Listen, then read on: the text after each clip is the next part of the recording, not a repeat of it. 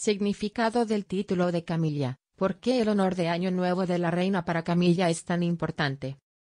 Anualmente, la reina otorga una gran cantidad de honores con motivo del Año Nuevo, y parece que este año un miembro de la familia real también se ha beneficiado de un nuevo título.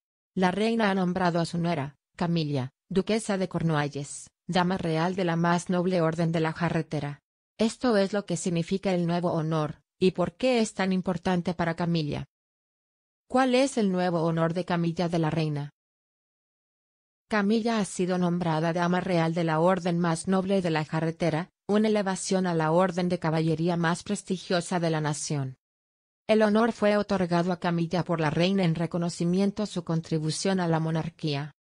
El nombramiento de caballeros reales y damas de la Orden de la Jarretera reconoce a quienes han servido a la reina personalmente.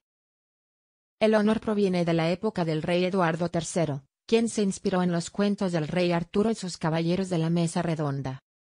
Edward estableció su Orden de la Jarretera, compuesta por su grupo de honorables caballeros. La tradición se ha extendido por siglos, y la Orden de la Jarretera de la Reina incluye a algunos miembros de la familia real. Además de la reina, el príncipe Carlos y otros miembros de la realeza, la Orden de la Jarretera está compuesta por 24 caballeros, y damas acompañantes que ocupan el cargo hasta la muerte. A las personas designadas se les suele otorgar el honor en reconocimiento a sus servicios a la vida pública. Los titulares actuales incluyen al ex primer ministro Sir John Major, y el nombramiento de Tony Blair para la orden se anunció en 2022. Otros ex primeros ministros también mantuvieron el honor hasta su muerte, incluidos Sir Winston Churchill, Sir Anthony Eden y Sir Harold Wilson.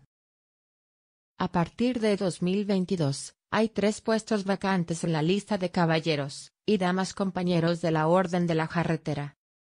¿Por qué es importante el nuevo título de Camilla? La relación de Camilla con el príncipe Carlos no siempre fue popular entre el público después de la ruptura del matrimonio de Carlos con la princesa Diana en la década de 1990.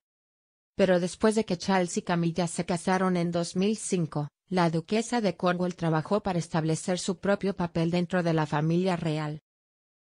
Como miembro de la realeza trabajadora, Camilla ha extendido su patrocinio a varias organizaciones benéficas en áreas que van desde la osteoporosis, el apoyo a las víctimas de la violencia doméstica y el bienestar animal. La reina ha concedido el honor a varios miembros de la familia real. Sin embargo, el nombramiento de Camilla a la Orden de la Jarretera es particularmente único ya que, a diferencia de Camilla, la mayoría de los miembros de la realeza con el honor nacieron actualmente en la familia real.